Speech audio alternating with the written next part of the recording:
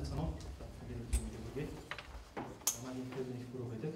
За боцлын салбарт 15 дахь жилдээ багшилж ажиллаж байна. За энэ дундаа ерхий өсөлт багшилж байгаа. За өнөөдөр намайг ингээд ураад энэ тахинд таамаг онцлог хийхийг одоо усан шүчлээс баярлаа. За ямар зорилготойгоор үүсгэлээ гэхлээр энэ дээд боловсролын одоо энэ шанал шинжилгээний төслийн хүрээнд тодорхой хэмжээнд дараалсан лекц семинарууд явуулж байгаа юм. Тэгэхээр нэг дээд боловсролын сургууль, дээд ихтэй сургуульд ороход бол мэдээж ерөнхий боловсролын сургуулийг дамжин гарч байгаа. Тэгэхээр ерөнхий боловсролын сургуулийнхаа одоо энэ чанар, сургуулийн чанараас хамаарч дээд боловсролын сургуулийн агуулга арга зүй бас өөрсдөж ингэж яваад байдаг. Тэгэхээр миний зүгээс бол энэ ерөнхий боловсролын сургуулийн чанарыг хэрхэн сайжруулах вэ?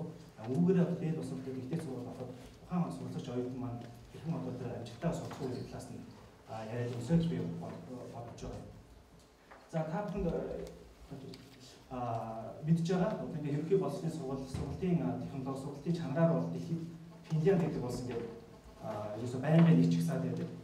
Тэгээ Финлянд гэдэг улсын ингээ зүгээр яг судалсан маш олон судалгааны судалгаанууд байдаг юм байлээ. зөв би хувьдаа дүндээ юу гэж дүнсэн бэ гэхээр Финлянд улс бол маш тодорхой цөм тооны тодорхой хичээлүүдтэй.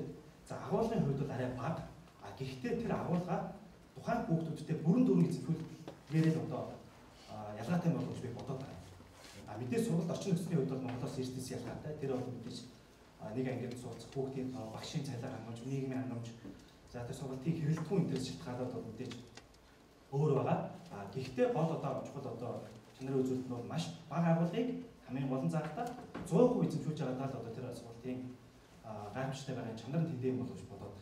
За Монголд хэрвээ тэгээд сургалт зохион байгуулалт явъя гэхээр уус ойлгомжтой тийм нэг ангид нэг Одоо нийслэлд бол 40 50 болоо явж та. За хөдөө орон нутгад бас арай гайв үзчихгүй.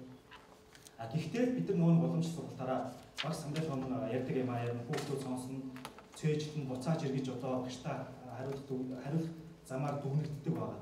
Тэгэхээр энэ сургалт маань өөрөө болохоор бас ингээд яваад болохгүй байна гэдэг нь болохоор одоо түрүүний өмнөх одоо дээр дурдгдсан ихсэн маань тодорхой тодорхой ярьлаа. Тэгэхээр нэг нь л одоо ингээд нэг багш маань одоо 45 минутанд 30 ч байна уу 40 ч байна уу 50 ч байна. За баг 20 хүүхд ч гэсэн хурж очиж ажиллах боломж байхгүй гэсэн. Тэгээ нэг хүүхдээ нэг минут 20 ирж идэл магадгүй хугацаанд дуусдаг. Эсвэл даалгавраа шалгаж авч идэл хугацаанд дуусдаг. Тэгэхээр энэ хүүхдүүдийг хэрхэн яаж хамтдаа сурах вэ гэдэг асуудал. Бид нар өөрөө яс өөрөө боловсролын салбарын асуудал байгууллагаас ажиллаж исэн хүний болоход бол бидний сургалтын одоо энэ хөтөлбөрөө бидний сургалтын одоо энэ стандарт юм уу одоо бичиг баримтын хувьд бол асуудал бол би бол маш сайн гэж бодож байгаа. Одоо сүүлд шилжиж байгаа хөтөлбөрөж гэсэн маш сайн Эхлээдээ бол одоо энэ зэрэг зүйц хөтөлбөр байгаа. За гол нь үүнийг хэрхэн яаж хэрэгжүүлэх вэ? Хүүхдүүдтэй хүүхд буюу тэр хэрэглэгчдэр бол хүүхдээр яаж хэрхэн хүүхдүүдэд хэрэгжүүлэх вэ гэдэг чинь өөр асуудал байна. Тэгэхээр нэг л бид нар одоо тийм финляндчиг тийм орчинтой тийм цөөхөн хүүхдтэй тийм одоо нөхцөл байхгүй учраас тухайн хүүхдүүдийг хүүхэд бүрийг нь тэр одоо амжилттай сайн сургая гэвэл тэр битаа сурч буюу тэр бид яг технологиг ашиглах шаардлага үүсэж байгаа. Тэгэхээр энэ шаардлага нь өөрөө дэлхийн одоо 21-р зууны боловсролын чиг хандлагатай таарад байгаа юм. Тэгэхээр бид нар бол яг бас бас нэг талаар бас азтай гэж хэлж бас болох. Энийг одоо шууд одоо товчлох тийм боломж бол бидэрт бүрдээд байгаа болоо гэж бодож байна.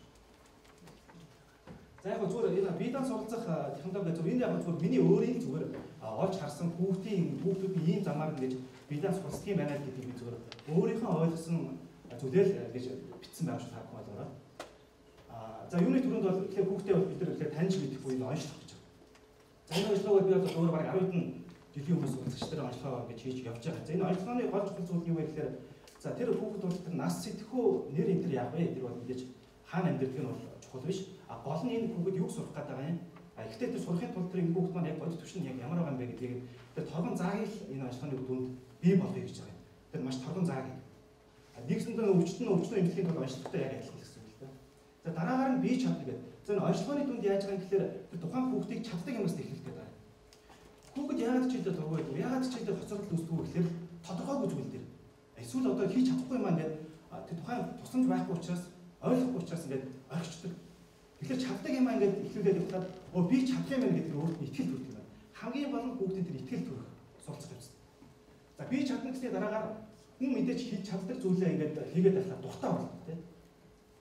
Хэмжигэл гэсэн одоо хичээлүүд дээр онцлог аваад ээж авдаа сайн одоо бүрдгийн өргөсгдөг А чадаад байгаа зүйлийг хийгээд байсан чинь хүүхд маань өөрөө дуртай болж. Ингээд хүүхдийн дур сонирхол бол би болт юм байна гэж би зүгээр анзаардаг. Дараагаар нь дуртай болсны дараа тасралтгүй тэр даалгавраа хангаж өгөх. тэр одоо даалгавар нь өөрөө ухаалаг байгаа ч юм уу ингээд сан байх юм бол тэр хийгээд байгаа ингээд урам орцсон, зориг орцсон, дуртай орцсон дээр л тэрийг таслахгүй шиг тодорхой тасаа даалгаврыг тэр одоо өгсдөө багш шүү. За дараагаар нь болохоор алдаан багш гэж байна. Алдаг ээ. Одоо бидний одоо нэг бас зоглон байдаг шүү. Ердөө үзэн сургуулиуд ажиллаж байгаа. Алдахлаараа л одоо ингээд бас хоёрдуурч гэсэн ялгаа. Энийг алдаа хийлээ гэнгүүт шууд загнадаг тийм. Эсвэл нуудун тавьдаг.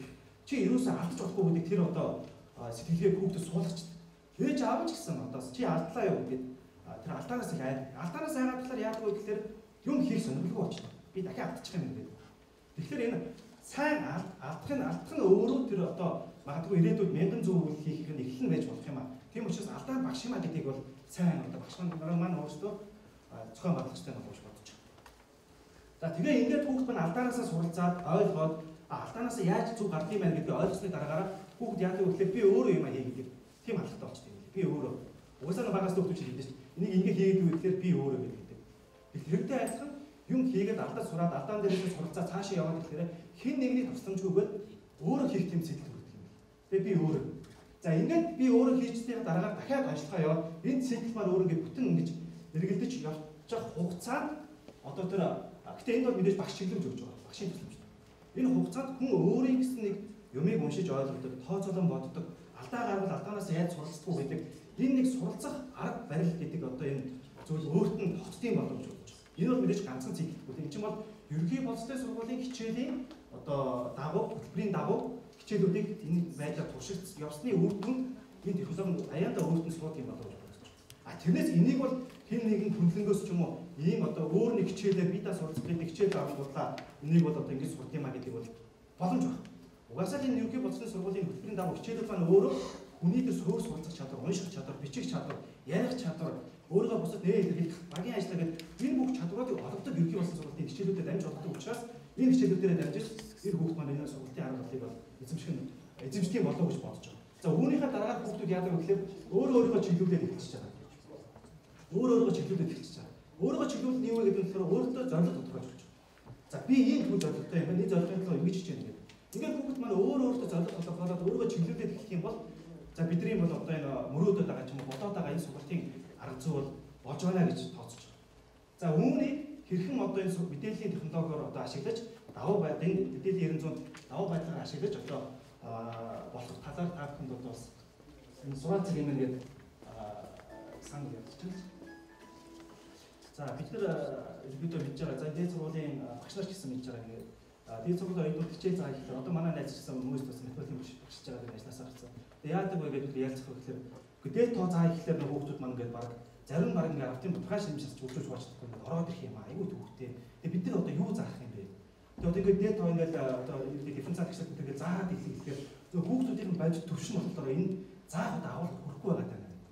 Тэгээд энэ ч угаасаа өмнө нь хэлтэй угаасаа бид нар угаасаа нэг самбарт нэг тоон дотор ажиллаж байгаа хүмүүс хүүхдүүд ямар хүүхдүүд өсөж байгаа ямар сургалтын одоо үнэлгээтэй үнэлгээнийх нь хувьд бол сайхан үнэлгээтэй. Гэхдээ бодит мэдээ чадвар нь өөрөө ямар төвшин байгаа вэ гэдгийг бол ямар ч захын хүнээс асуусан бол за эцэгчүүд байна мэдэхгүй юм байлээ 12 дугаар төсөлт нь ойлгох юм байлээ а багш нар бол сайн мэднэ дээд сургуулийн багш нар бол бүр илүү сайн мэдж байгаа. Тэгэхээр бидний одоо хэрэгжүүлэх гэдэг энэ хийгээд байгаа энэ систем маань өөрөө массын боловсрол чиглэсэн гэж бид үзэж байгаа. Масын босол буюу нөгөө ангийн нөгөө гоцгой 5 хүүхд бол биш. Тэр үлдээд байгаа нэг 20 30 хүүхд дээр л тэр хүүхдүүд ч гэсэн бас нэг авиастай байх тийм боломж өгн байд юм байлээ. А тэрийг нь нээж өгч болно. За одоо бид нар магадгүй зүгээр энэ ерхий боловсролын хэрвээ энэ стандарт хангалтын програмаа бид нар манай энэ одоо жилдээ төгсөж байгаа 30 40 мянган хүүхдүүд хэрвээ яг үнэн боддоор төгсдөг байсан бол энэ дээд сургуульд орох гэж алцсан болно. А Орсон хоёрдууд нь бол одоо бараг одоо байгаас илүү тэгэхээр мундаг авиастай чадвартай тийм хүүхдүүд бол илүү их гарч байна илүү олон хүүхдүүд MIT ч юм уу тэр Harvard сурна гэсэн. Тэгэхээр бид нар дундаж төвшин билээ массын төвшнөө бид нар хэр зэрэг чанарчуд дээшлэж чадна. Тэдний чинэгрээ одоо илүү мандат лидинг хийх дээр суралцаж оюутнууд илүү ихээр гарч ирнэ гэдэг нь болохоор энэ бол локосо бодоод үзэхэд ойлгомжтой зүйл. Тэгэхээр бид нар массын боловсрол буюу энэ нэг орхитоод байгаа энэ нэг сайн юм ойлгохгүй ингээ хичээл ном дургу математик нуухай хэцүү гэдэг энэ хүүхдүүдэд зориулсан сургуулийн програмыг бодож төлөвлөж энийг бол хэрэгжүүлсэн байна. За програмыг би тал танилцуул энэ маань ингээ угаасаа ингээ 3 дугаар ангиас эхлүүлээд 12 дугаар ангийн сургалтын одоо бүх одоогийн сүүл шилжигдсэн сургалтын хөтөлбөрийн дагуу бүх агуулга бол байгаа. За энэ дотор агуулга доторх бүх бодлогыг бол бид нар өөрсдөө 3 жилийн хугацаанд зохиосон. Цаасан дээр зохиогоо дараа нь LaTeX програмаар шивж програмаар оруулж өгсөн байгаа. За хажуу талд нь төвшин тогтоох гэж байгаа. Энэ төвшин тогтоох шаардлагал энэ одоо жишээлбэл 6 дугаар ангийн энэ агуулгыг хүрээд хүүхдүүд өөрийгөө одоо сорих, өөрийгөө өмнөх ийм боломжтой тесттэй. За одоо та бүхэн харж байгаа хэрэг бүхэл том үлдэлтэй орно. Бүхэл том үлдэл гэдэг ганцаар идэвхтэй байгаа. Энэ сэдв болохоор энэ сэдвийг дуусчих дараагийн эдгээр сэдвүүд нээгдэж өгнө гэсэн. Ингээд ингээд дараалалаа бидний өгсөн энэ одоо төлөвлөгөөний дагуу бүгд нас суралцсан. А одоо бид нар зүгээр яг нэмэлтээр ямар сайжруулалт хийж байгаа вэ гэхээр энэ системийг энэ дарааллыг ямар байхаа гэдгийг багш нар өөрсдөө төлөвлөдөг тийм одоо шинээр апдейт хийгдэж байгаа утгагүй бэлэн болох юм. За эхлээд орч. А тэр 32 гэдэг тоо та бүхэн анзаарч байгаа тийм 32. За ингээд саяны одоо сэлбэр юм бол дахиад 40 дотор шалт авч байгаа. Дахиад 40 дотор шалт авч. Ягаад дахиад 40 дотор шалт авч байгаа юм гэхээр нөх 32 дасгалынхаа хэдвэр дасгалаас эхлэх вэ гэдгийг тодорхойлж өгч байгаа гэсэн. Нөх хүүхдийнхаа тэр нэмхийг чадж гинөө хасхийг чадахгүй байна уу, өчгийг чадж гинөө хуваахыг чадахгүй байна уу гэдэг тэр нарийн онцлогоо гэдэг нь болохоор би 40 дотороос дахиж шалгаж өгөх гэсэн. Тухайн сэдв дотор гэсэн. За мөн ихнээс нэг гэж бодсон. За 40 дотор. За энэ шалгалт маань өөрөө тестээр байгаа. За жишээлбэл 7 ба 12 гэсэн хоёр тооны аль нь вэ За 12 нь бол мэдээж. А тэгээ зөв учраас одоо зөв гэсэн тэмдэглэл гаргаж авч байгаа. За дараах тоонуудаас 17-оос бага нь аль вэ? За зөв байна. За одоо жишээлбэл зүгээр магадгүй энийг хүүхэд маань тгээс хас нь 12.5 буюу хас 12.5 гэж хариулт дарахтай байдал хас 14.5 гэдээ дарчих буруу дарчих. За дараа. Дараагийн. А тэнгууд дахиад ижил төвчний бодлого дуудаж байгаа. Ягаад дахиад ижил төвчний бодлого дуудаж байгаа юм гэхээр саяныхын хүүхэд санамсаргүй алдсан байж магадгүй гэж. Санамсаргүй буруу дарсан. За энийг зөв дарчих. За дахиад бас нэг ижил төвчний бодлого дуудаж. Саяныхыг таацсан байж магадгүй гэж үзэж байгаа. Таагаад зөв хариу гаргасан. Ингээд ижил төвчний 3 бодлогоос 2 бодлого нь зөв байх юм бол цаашаа програм явчих юм. За энийг зөв хийчих. За ингээд бодлого нь за энэ энгийн хэлбэр шийдвэл за зөв бодчих. За энэ дээр одоо шийдэл зураг алдчих хоёрыг дараа алдчих. За хоёр дараалал алдсан учраас энэ дуусгах гэх команд үүсэж байгаа.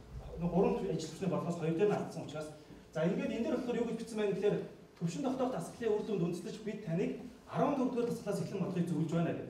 За энэ нь 32 дасгалтаас 14 дугаар дасгалаас эхлэн бодлогыг зөвлөж байгаа юм. За энэ алгоритм маань яг яаж хийгдсэн бэ гэхээр саяны одоо бидний алдсан бодлого бол магадгүй 17 дугаар дасгал дээр байгаад дасгал А тэг яагаад 14-өөс эхэлж байгаа гэхээр нэг чаддаг юмнаас юм бол хамгийн сүүл чадсан дасгал нь магадгүй 13 дасгал байхгүй. Тэгэхээр тэгэхээр алгоритмаар юу гэж бодож байгаа юм? 13 дахь дасгалыг дараагийн дасгалаас нь эхлүүлж байгаа гэсэн. Тэгэхээр энэ дасгалыг хүүхэд бие даа бодох тийм боломж үүсэж байгаа гэсэн. За орч. За ингээд нэгээс доош доош удаа. А нэгээс 13 хүртэл чаддаг юм гэж үзээд одоо 14 дахь дасгалаас эхлэн бодож. За энэ энгийн хэлбэр шилжүүлж үүдлийг үүсгдэг. За 27-оос нь 13 болгоод нэмэх 14 гэсэн хариу гарах нь байна. За зөв. За ингээд хэрвээ энэ 14-өөс заслын энэ бодлогыг хэрвээ ойлгосон хүүхэд бол яг дараагийн бодлогод ижил төвчний нийтдээ 20 бодлого байгаа. Нэг гэсэндээ хүүхдийг өөрөөр нь бие дааж хэрэгтэй байна. Ижил төвчний учраас одоо хүүхдүүд бие даах боломжтой гэсэн. За дараагийн 13. Яг хайж. 13 гэдэг. За сэрх орчих. За хэрвээ за энэ жишээл энгийн мутхан 60 дугаар зүйл байна. Хэрвээ хүүхэд одоо жишээлбэл энийг одоо ингээд бодох нь шүү дээ 7-оос 7-ны 25-аас хасах нь 7-ны 4 гэдэг чинь 25-аас 4-ийг хасаад 7-ны 21 буюу 21-ийг хуваах нь 7 3 гэж хариулах хэрэгтэй. Бодсон байна. За зүг байна. За гэх мэт ингэ бодоод явж байгаа. А хэрвээ хүүхд энийг бодож чадахгүй За энийг бодож чадахгүй зүг хийж. За яг одоо чи энэ дээр тавьчих. За энийг бодож чадахгүй нэг алдчихъя тийм. За нэг алдлаа. Нэг алдлаа. За дараагийн нэг алдчих. Хоёр дахь алдлаа. За гэж байгаа. За ингээд энэ дасгал дээр 3 дараалал алдчихж байгаа юм. 3 дараалаж алдахлаар бид нар юу гэж үзэж байгаа юм гэхээр энэ дасгалыг энэ хүүхэд бол ерөнхийдөө ойлгохгүй байна гэж үзэж байгаа. Чадахгүй байна. Одоо тэр энгийн бүхэн хооронд нь нэмээд хооронд нь хуваах гэдэг шүү дээ. А тэгэхээр програм нь яаж байгаа юм гэхээр гарын бодлого болж байна. А ухраад өчөж байгаа юм. Ухарч өгдөө юу ухарч өгж байгаа юм гэхээр саний бодлого бодлогынхаа үйлдэлүүд рүү дадлцсан үйлдэлүүд рүү ухарч өгч байгаа. За нэг зүйл нэмэх нь шүү дээ. 5-ны 1 дээр нэмэх нь 5-ны 2 гэдэг чинь 5-ны 3 За 25-ны 21 дээр нэмэх нь 25-ны 320 гэдэг чинь 25-ны 57 зөв. За ингээд ухарсан дасгалаа яаж байгаа юм гэхлээр дараалж 5 удаа зөв хийвэл гэж байгаа. Ухарсан дасгалаа дараалж 5 удаа зөв хийх юм бол заавалжгүй 20 бодлыг бодох шаардлагагүй. Энийгээ ойлгосон байна гэж үзээд дараагийн бодлого орчих. За тэгвэл яаж гэхээр дараагийн ухарсан дасгал нь 9 дугаар дасгал буюу хооронд нь хураах дасгал байна. Нь хооронд нэмэгдээл хураах дасгалыг л одоо бид нар тэр хүүхд маань матсан байж магадгүй гэж үзээд энэ үйл тултай болохоор хурааж өгч ухаалгаар. За ингээд таслуудаа хэрвээ дууссан бол буцаад цааны нөгөө анхны ацсан тасалбар гараад ирж байгаа За энэ ацсан таслаа одоо ингээд ойлгоод цаашаа бодоод явнаа гэсэн. Ерөнхийдөө ийм одоо үйл санаад алгоритм манай програм өөрөө хийх цаг өгөх бодлоо санаж. Харин таслаа орч.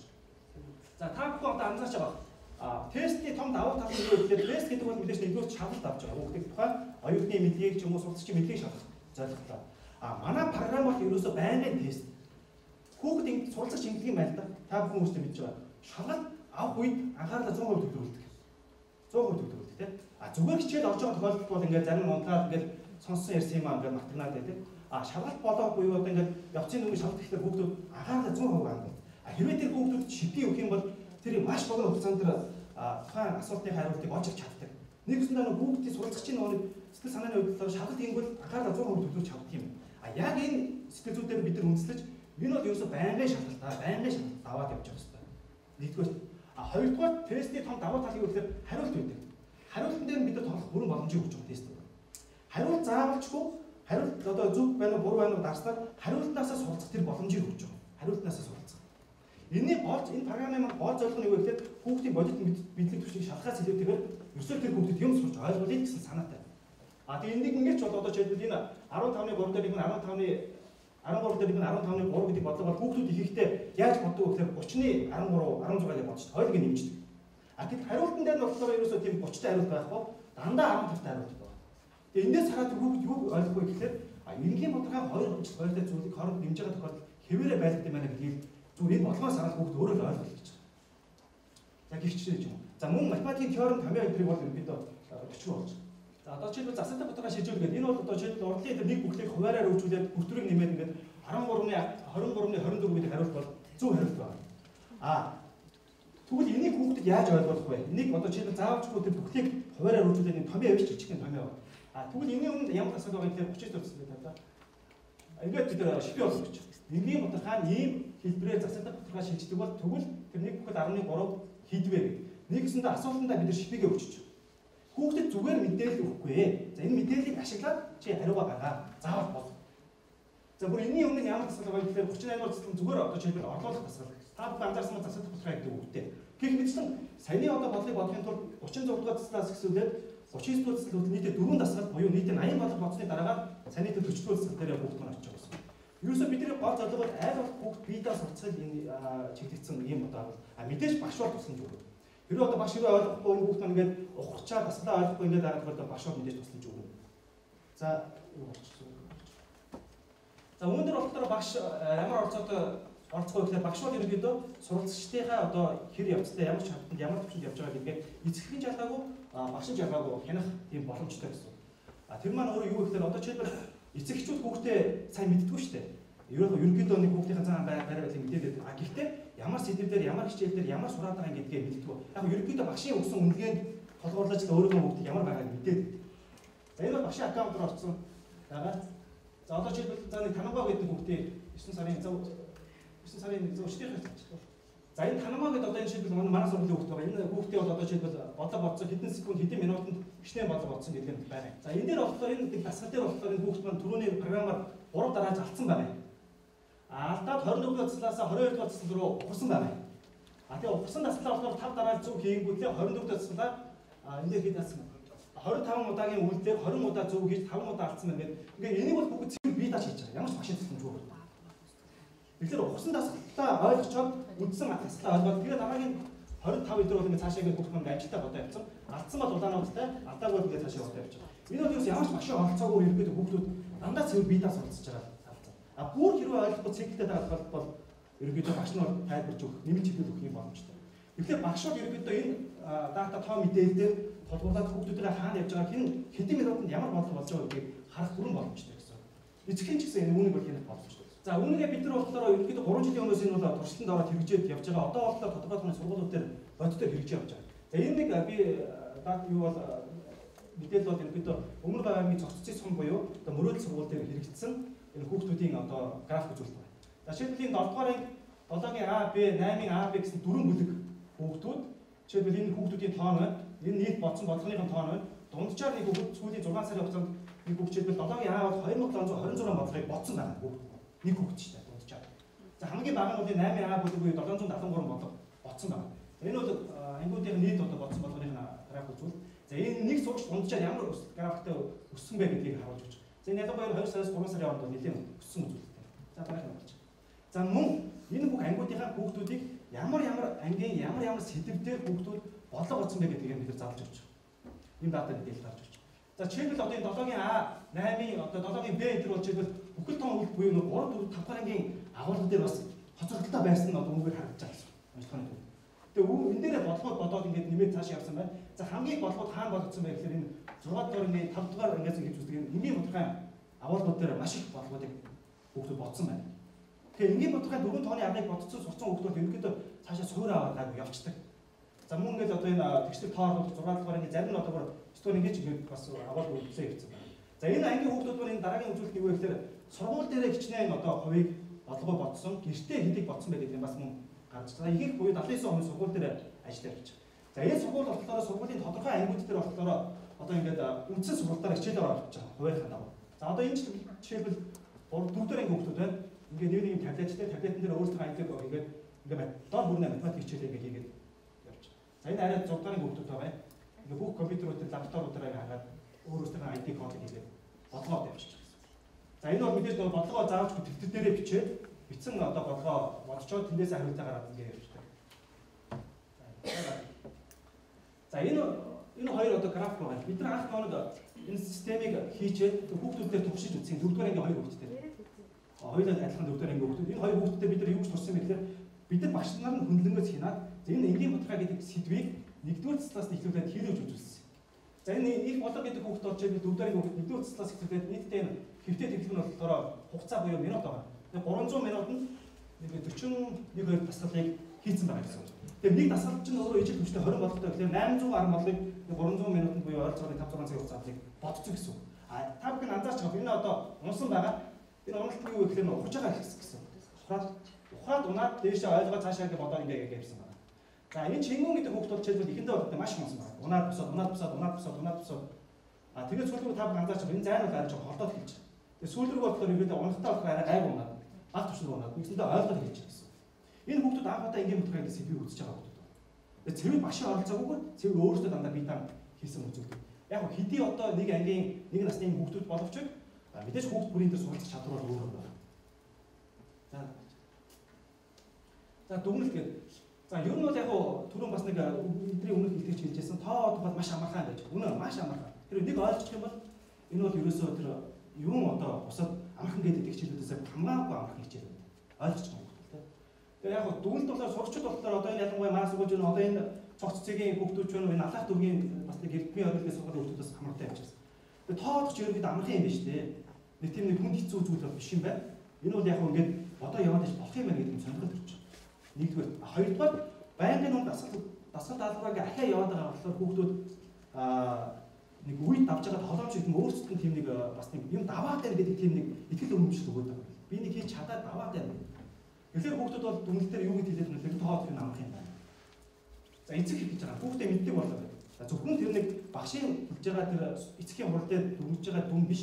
Хүүхдээ хаана ямар сэдвээр хідэн бодлого болоод байгаа. Өнөөдөр 40 минутанд миний юу хийсэн? Гэртээ юу хийх ёстой вэ?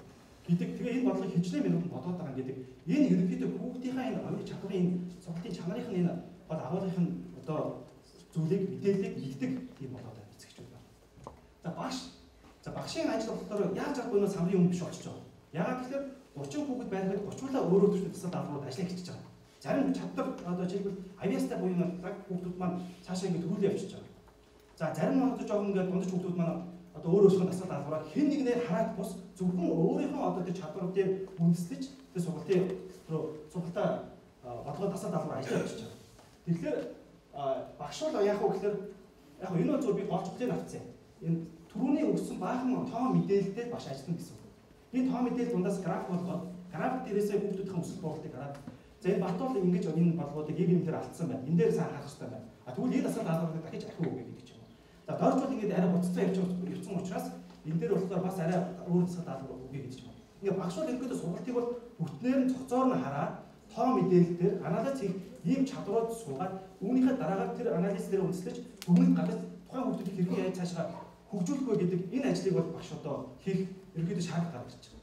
Тэгэхээр бидний одоо багш гэдэг сургуулиуд ч тэр ер нь одоо ихтэй сургуульчдад хэрэв багш мэдээс төгсөж байгаа бол бас тодорхой одоо жишээлбэл сургалтын агуул хөтөлбөртөө магадгүй зүгээр ирээдүйд өөрчлөлт хийж магадгүй. Гэхдээ энэ зөвхөн бидний гаргаж ирсэн одоо бодит практик дээрээс гарч ирсэн санаа багш юу мэдээж заавал энэ бол гэсэн үг биш.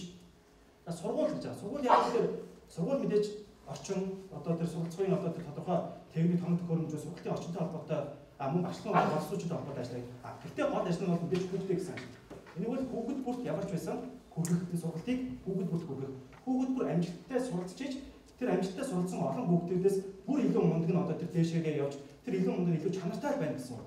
Яг тэгэхээр бид нар өөрсдөө маш цөөхөлтний 3 сая гаруй хүнтэй 500 600 одоо мянган хүүхэдтэй маш цөөхөлтний учраас Үүнийг бол одоо хүүхэд бүрийг ямар ч байсан тодорхой хэмжээнд авиастай болгож тэр авиас нь цаашаа тэр хоорондоо өрсөлд нь уралд нь тэр нь дээд сургууль болж тэр нь цаашаа тэр ихтэй сургууль олон улсын ихтэй сургууль явж тэр нь эргээд инновац технологи авчирч энэ боломжийг болохоор хаанаас эхлэв сайн хүүхдүүдээс эхлэхээс илүү тэгээд баасын хүүхдүүдийг бид нар сайжруулж тэр дундаас илүү сайн хүүхдүүд ерөөдөө төрнөө гэсэн ийм санаа байгаа. За тэгээд анхаарал тавьсан явж байна.